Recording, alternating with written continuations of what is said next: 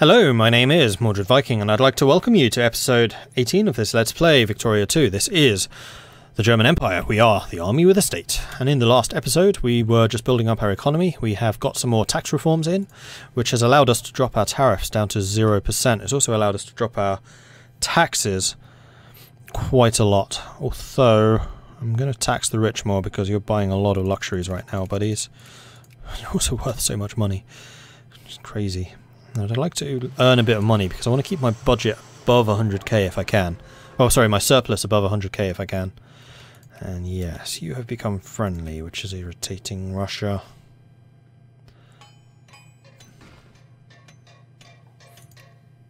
Definitely want to beat the Russians there. Oh, Persia. We can add you to our sphere. Thank you for the cheap cotton exports. Very much obliged to you. Marvellous. And there we go immediate impact on our factories and immediate impact on our income. Excellent. Because once they're in your sphere, you get uh, direct access to any materials that they are exporting before anyone else. So their cotton, which they produce, is then sold to us first, which means our factories get more of it, which means they become more productive. It's very important. And Poland, we can also increase our opinion here. We are now friendly. And we have the military statistics. Excellent. Now, I believe there is a little trick that you can do, whereby any technology that you have like set in here until the end is saved up. And I'm kind of gambling that we'll be able to save up enough technology in here to almost immediately get the 1970 tech. I think that's how it works, if memory serves. The Austrian Menace, as everyone knows... Okay, we've got that one again. How long until that's actually good? Oh, we're close. We're very close. And we've just become second militarily as well. Um, no, we're going to have to mobilize as soon as war breaks out. And we probably will need to mobilize for this one. I'm not that worried about the Dutch. In fact, the Austrian army is kind of crappy too. Um, we'll see. And there we go. We have we have gained the acquire state CB against Austria. It is time for war.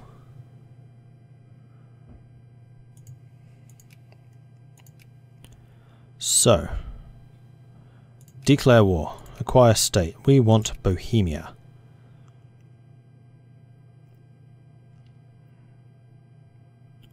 We're going to need to call the ally. We might as well. We lose nothing by doing so.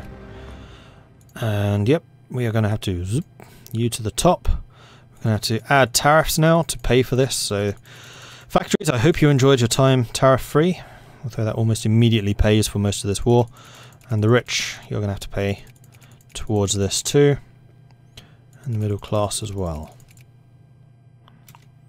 We're actually going to... Wow. We're, our economy is a lot stronger than I'd realised. The Ottomans have joined, Switzerland said no, Sweden joined, Denmark joined, and the UK joined. Excellent.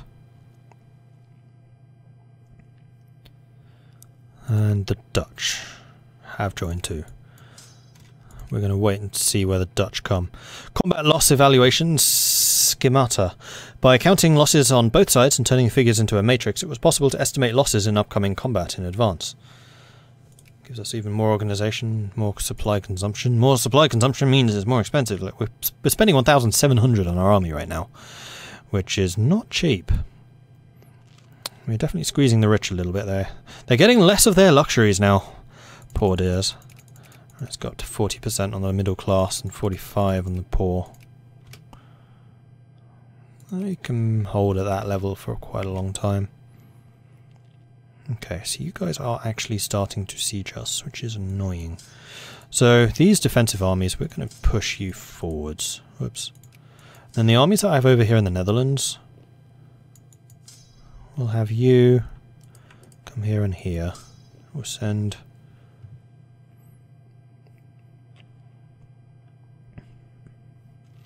We'll have you come over here to deal with the Austrians. We still haven't mobilised, so I'm not entirely convinced that we're going to need to. I mean, the Austrians have. But it's going to be my entire military versus the Austrians. Oh, there's a crisis brewing. between The liberation of Belarus. Against Russia, I assume.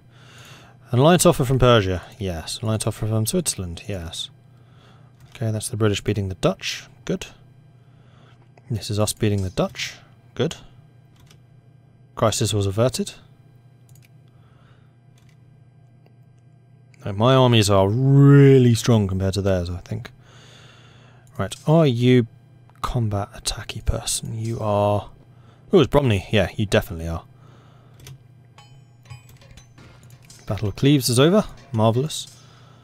And now they just have a couple of tiny little armies, which, quite frankly, aren't really worth much. Now, this is a commerce raider right there versus Dutch men of war, so the British Navy here should absolutely kick their ass. Speaking of which, I did promise to talk about the differences in their stats. So right now, men of war, attack of 9, hull of 4, firing range of 58. Commerce raider, on the other hand, has less attack, but more hull. And hull is important because that is the number of hit points. You will lose more men of war in a conflict than you will commerce raiders. And then finally, max speed. 5 kilometers per hour faster than the men of war. Like they're even faster than the frigates, and the frigates are like your light attack ships at this stage, and have double the hull. So once you start getting these steamships, they're, they're so much stronger, so much stronger. Very, very much worth getting. Okay, you've taken that already. Go to Olomouc. You go to Prague. You go to Alsing. You guys are attacking here. That's good. I Need to make sure the Austrians don't attack my artillery units up here, because they'll be kind of owned on their own. But my troops are just... my armies are so much stronger than theirs. Um, let's go and hit them. That's your guys. Dying. Olmütz has fallen. Let's go here. Now, how good are you attacking? Oh, you are in fact an attacking general. In that case, let's go after the Austrians there. Augsburg has fallen. Bülow is a defensive general. Let's go here.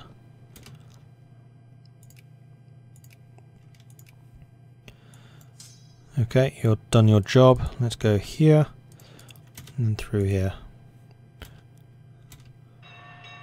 I thought it was actually closer than I expected it would be. We lost Carlsbad, but that's fine. Right, how are our armies holding up here? Our, our armies are so strong compared to theirs. Uh, let's go into here. And then you lot can just keep on taking territory, which is lovely. Salzburg's fallen. Where is Vienna?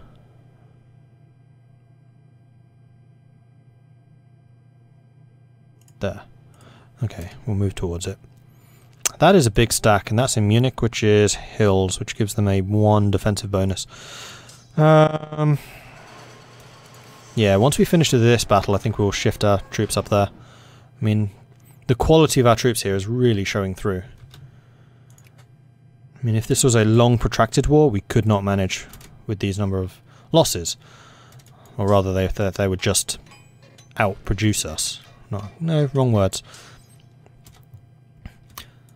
They would simply just have more bodies to throw at a fight than us. But right now, because our armies are so overwhelmingly strong compared to theirs, we're doing just fine. Let's go beat the Dutch up. Attack commenced. we're doing double the damage that they are.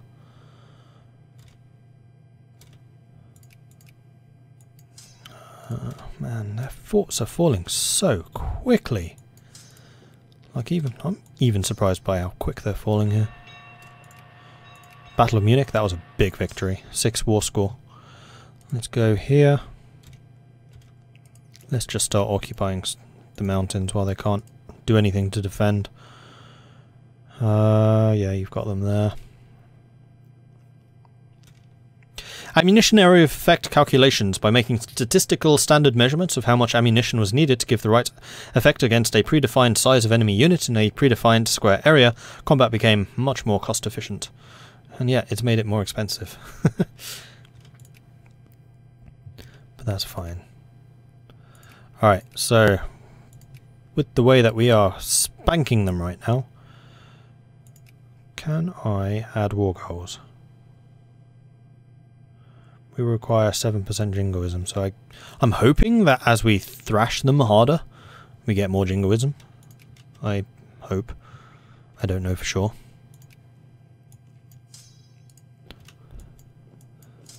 To go and support the Swedes over there because they are throwing more and more men in. And wow, you are an amazing general. Plus five defense. That's insane. And now our entire unit gets that. They lost almost 30,000 men to our 5,000. That was a really good result for us. Like, really good. Ah, Vienna. Can finally go for it. Magnificent. Uh, you guys just keep on advancing. They just... Their forts are rubbish. Or else my um, recon is really good, which is also possible. Uh, you go and beat the Dutch army again. Now. Nope, still can't.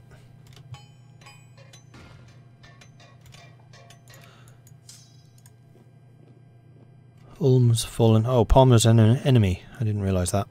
The Conservatives have lost 14%, the Liberals have gained 7 Social Man, Socialists are really growing. Liquidization of assets. This meant that a bankrupted firm got its assets sold to pay the money lenders. This was a complex but important set of laws that was the first step to a stable jurisdiction for bankruptcies. January 1st, 1870. I would like to have... Oh, we already have breech-loaded guns. We just don't have colonial ne negotiations. What are we lacking?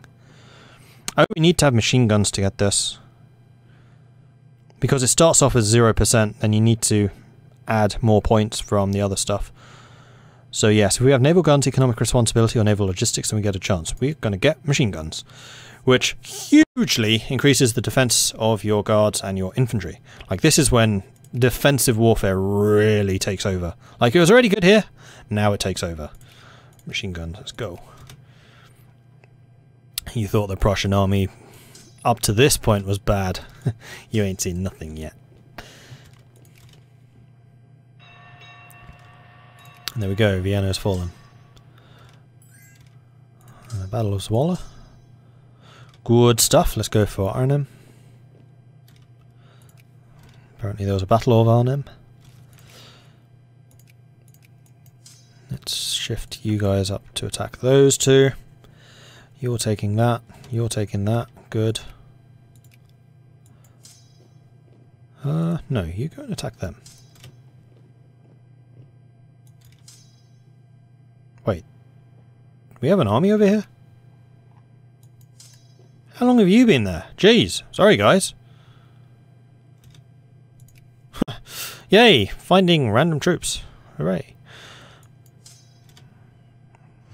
Oh, this is going to be such a squish.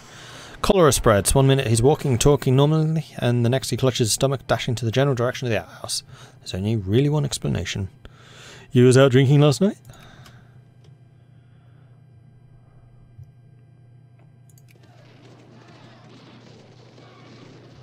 Yeah, Bromley's getting more and more experience, which is magnificent. Then we'll have you attack them, I think. Meanwhile, Sweden's under attack, so let's go and support the Swedes again. You guys need to continue pushing forwards. Alright, Austria. Still can't do it. We're at 66% now. Damn it. Oh yeah, jingoism is definitely growing. Okay, cool. Austria's offering me peace. I'm not ready for peace yet. Thanks. Actually, you come over here to Salzburg. And you Bromley, you are. You come over to here to Landshut, and then we'll go and attack them.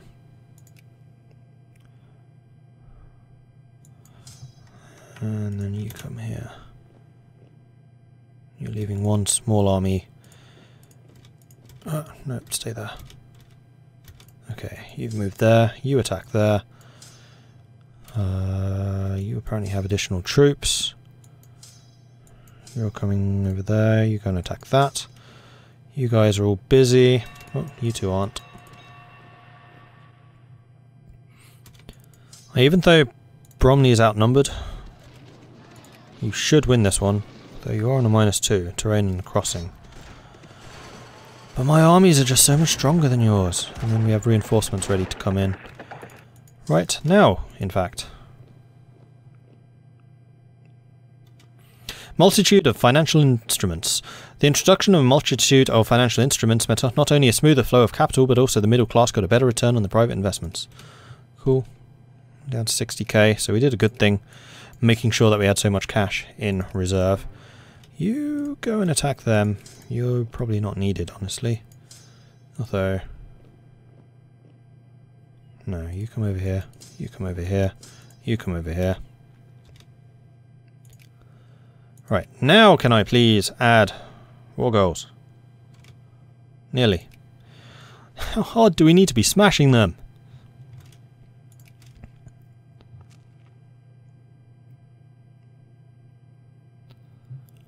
I mean, it might even be worth building like a death stack. So Bromley's troops right now... Whoops. No, the Swedes are there too. I was like, why am I taking additional attrition here? Um, just where our best offensive general is, and then that's what we use to punch through enemy lines. Because eventually it will become lines. It'll become more like Hearts of Iron. I mean, not quite to the point where you have a front with battle plans and everything, but you will have like a whole line of troops just holding, and then you're kind of probing and trying to push through.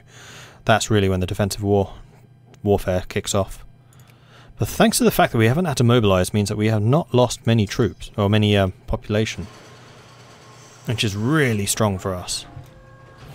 Drying techniques. By drying food, the durability increased tenfold and food as a commodity became easier to sell. More production output for tea, coffee and opium. Right, can I please add a war goal? Nearly. Oh, the Poles at war with Austria as well. Oh, you're just capitalising on the damage I'm doing to them. But fair enough. I can't really fault you for that. Right, you go and kill them because they're annoying me. Unless you're a better attack commander. Uh, technically, yes.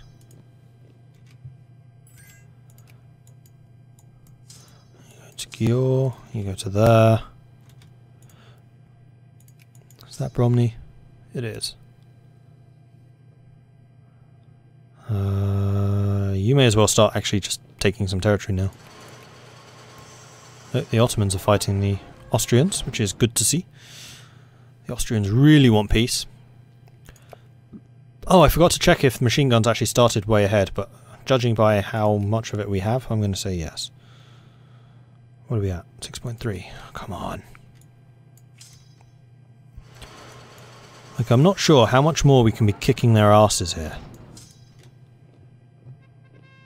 Lockout! Unconstitutional.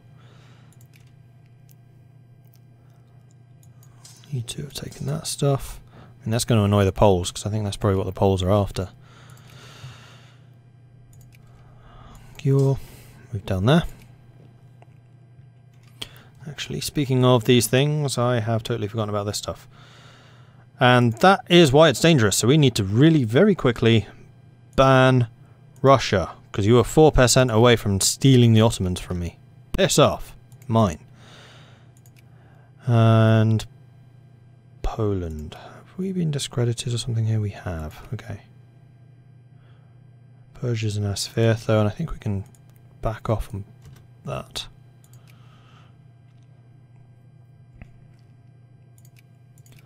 Okay, now can I please... no, wait, that's the wrong country.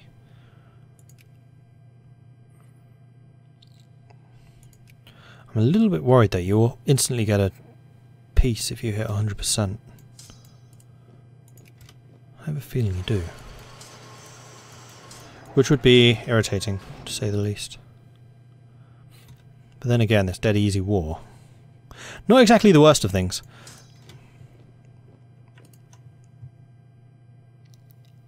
Oh, the Austrians have actually got an army again. Bromley, where are you? that you? It is. Go and deal with them, please.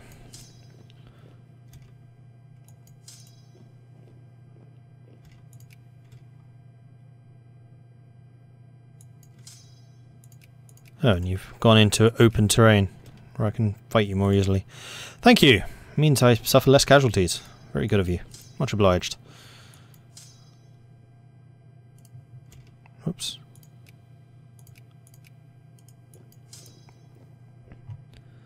Right, can we please... Oh, has that gone backwards? That feels like it's gone backwards. and the Austrians are no longer a great power.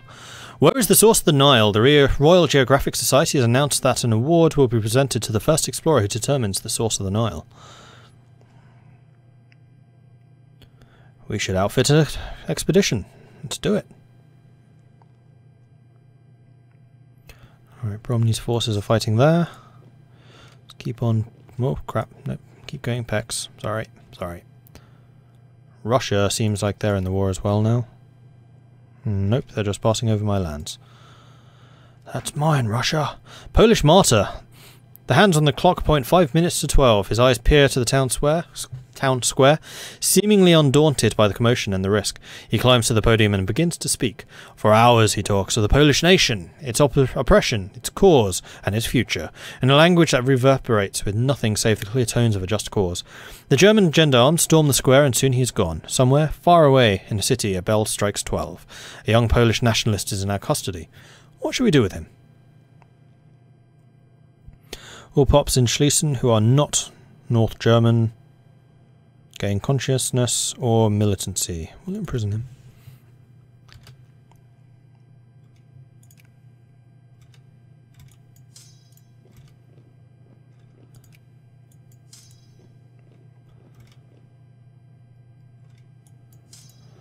Oh man, can we please?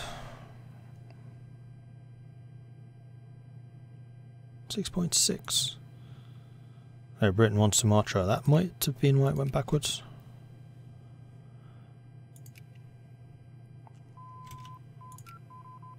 My king, we have finished the research of the machine guns. Huzzah! And now that should allow us to, yeah, 25% towards colonial negotiations, at which point we will have a huge advantage in colonia colonizing before the others, which hopefully will allow us to get a start in Africa before the others jump in. Actually, speaking of which, are there any technologies which increase colonial strength or speed or anything like that?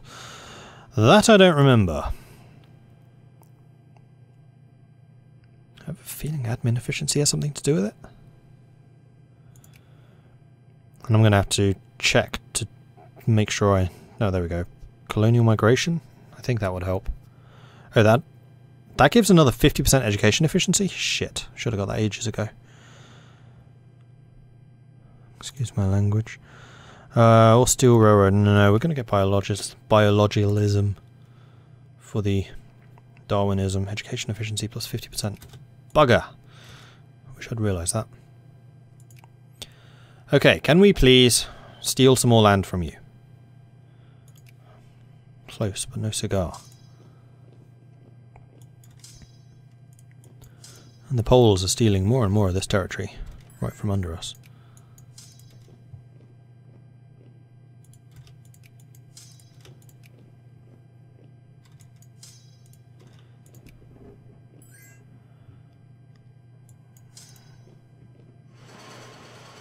Thankfully their territories do fall very, very quickly, which is excellent. Keep going. Wrong option. How close? 6.7. What was the piece? We're at 100. No peace deal's been made yet. We'll wait a little bit longer.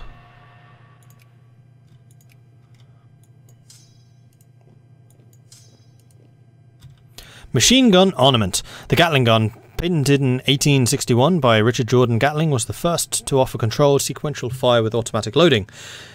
It first saw very limited action in the American Civil War, which never happened. So, infantry, yeah, loads of defensive bonuses.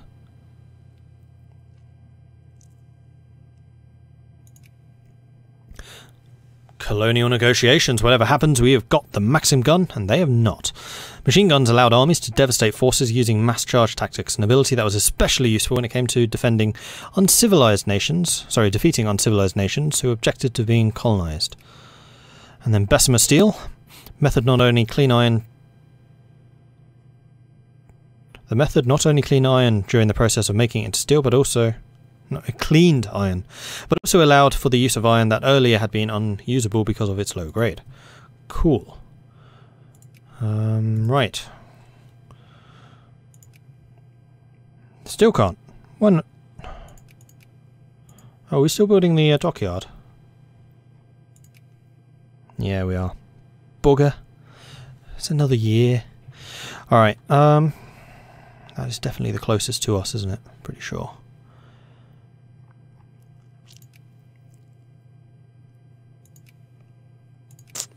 Alright.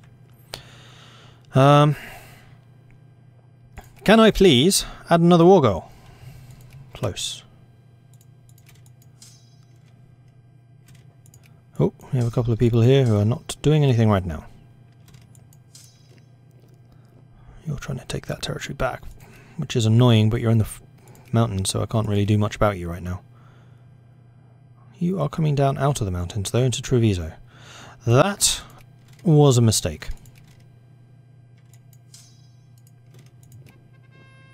The local railway shares. A newly formed railway company is one of our states has issued shares in the company to help finance the burgeoning firm, and are now seeking buyers and investors in the state. The CEO of the company has approached local politicians asking them if they could, perhaps, lend a bit of a hand in the marketing of these shares to the general public, arguing that an extension of the railway networks in the state can only be beneficial and should be promoted. Some feel that this might infringe on the principles of official neutrality with re regards to private ventures, while others see only opportunities. Gain a free railroad? Or all pops lose militancy? Um, I'll take the free railroads.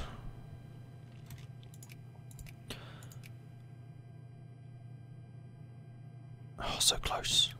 So close. You two go and attack that. You go to Zagreb. You guys take this. Aha. Uh, the Ottomans are taking that already. In that case, let's just head over here. Alright. Attack commenced. So Bromley got there first. And we are doing way more damage to them. Plus, you should now see... Oh no, it doesn't actually show you the combat stats. So the fact that we have machine guns and they almost certainly do not. Although this is defensive, so it won't matter. Capitalists in one of our states have called a lockout following a period of intensifying labour conflicts in the area. Workers have been informed by management that no one is welcome back to work while union sympathies still run high in the unemployed. Sorry, in the employed. Local police have expressed support for the move, citing a long series of disturbances at the factory, some even bordering on sabotage. No. And I'm probably really confusing people with my constant back and foring. Trade unions are legal. Trade unions screwing people up is not. Right, can I please add a new logo? Pretty please, with a sodding cherry on top. Free of charge, completely free. Battle of Treviso, we'll go and cut them off. Uh, we even got there first, which means I get the defensive bonus. And apparently that counts as me digging in for like a day.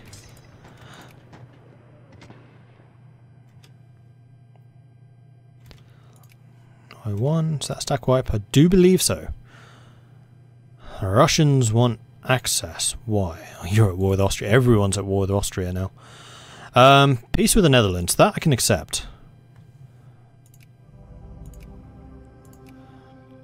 Now I can add a sodding war goal. Should I have done that earlier? Don't know. I would like to acquire another state. Which will cost 11 infamy, which will bring me up to 36. What's the maximum? It's like 25. I really shouldn't do this. No, I can't count. That's going to go up to 26. If I waited for that to burn down a little bit, I really, really should, um, then it would be a lot cheaper. Otherwise, you start... Bad things happen. It's like having too much bad boy in uh, EU4. Like, it's not a good idea. Okay. Um, how quickly does it go down?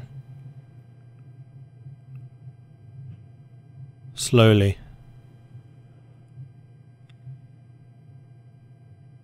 Very slowly. It's more than a year. Um, let's send our troops back home. I mean, like Britain and the others might peace out in the meantime. That's fine. We've got this. Oh yeah, I've got to add you over there. The Mud March. The Berlin weather did its worst against us. Mud, mud was its prominent feature, and it was known as afterwards as the Mud March.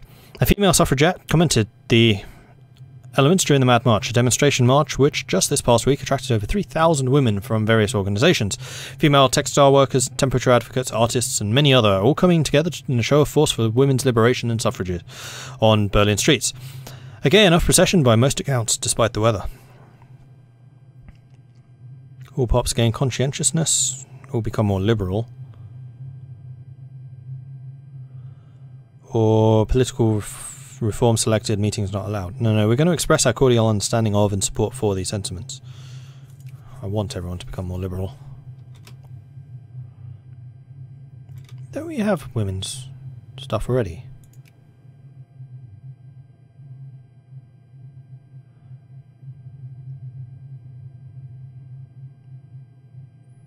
Um, not sure you can actually select it. I mean, everyone can vote. We have universal voting.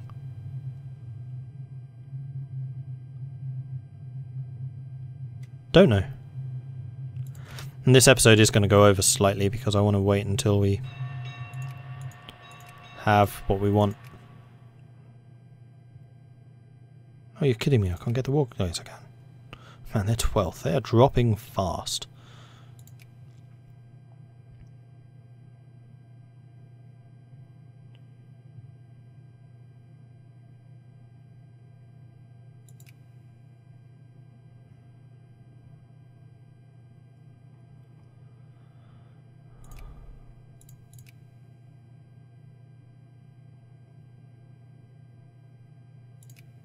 Yeah, we definitely want to acquire a state. Do they cost different amounts? No, they don't.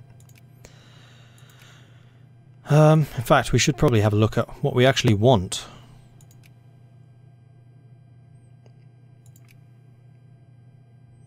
Uh, Moravia, probably? Probably. I have a feeling it has a high population. Nowhere near as much as Bohemia. In fact, West Galicia would probably be more. I don't know if we can take Österreich, which is Austria. Tyrol? Uh, not hugely valuable. No gold here anymore. Yeah, I think it's going to be Moravia. So we're going to try and take Bohemia and Moravia.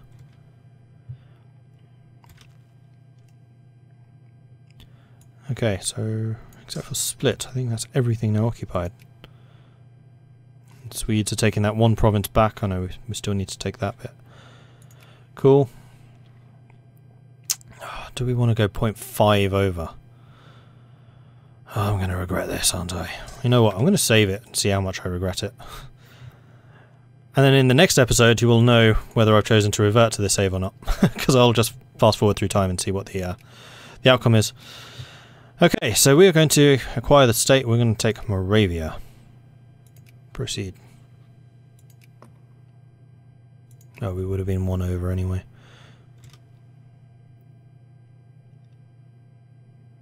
Oh, and then we need to actually, you know, offer them the peace. Which we can't do for a month. In the meantime, all of you lot can head home.